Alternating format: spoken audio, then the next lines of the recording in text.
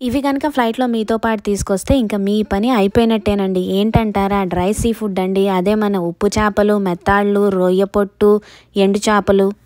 మీరు వీటిని ఎంత వాసన రాకుండా ప్యాక్ చేసి తీసుకొచ్చినా స్కానింగ్లో వాళ్ళు పసిగడతారు. అదే కాకుండా ఎయిర్పోర్ట్లో ఉండే కుక్కలు స్నీఫర్ డాగ్స్ కనుక ఈ వాసనని పట్టుకున్నాయి అని అంటే ఇంకా మీకు ఫైన్ల మీద ఫైన్లే వేయడమే కాకుండా కూర్చోబెట్టి గంటలు గంటల ఎంక్వైరీ కూడా చేస్తారు. ఎందుకు చెప్తున్నానంటే కొంతమంది ఇలా తీసుకొచ్చి ఇరుక్కుపోయిన వాళ్ళు కూడా ఉన్నారనమాట ఎయిర్పోర్ట్లో. సో ఇవి మనకి అమెరికాలో కూడా దొరుకుతాయండి. కాకపోతే కొంచెం ఎక్స్పెన్సివ్ ఇవన్నీ కూడా మనకి కొన్ని ఏషియన్ స్టోర్స్లో దొరుకుతూ ఉంటాయి. కాబట్టి అనవసరంగా వీటిని తెచ్చి ఇరుక్కుపోకండి. అలాగే చేపలు కాకుండా మీకు ఆక్టోపస్ కావాలా? ఆక్టోపస్ తింటారా? చూడండి ఇక్కడ దాన్ని కూడా డ్రై చేసేసి ఆక్టోపస్ని ఎలా పెట్టారో.